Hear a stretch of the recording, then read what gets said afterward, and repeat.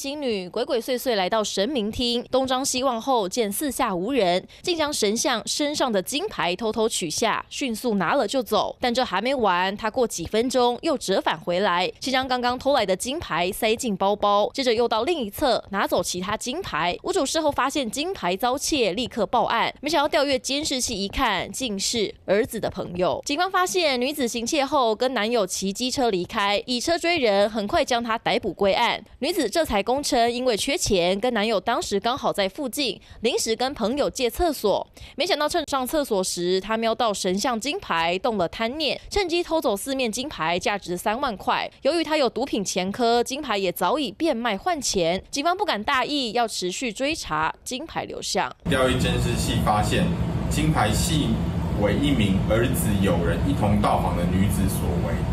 该名女子以借厕所为由进入屋中。并在屋主儿子与友人在房间内的空档时机，将神明厅上的金牌窃取。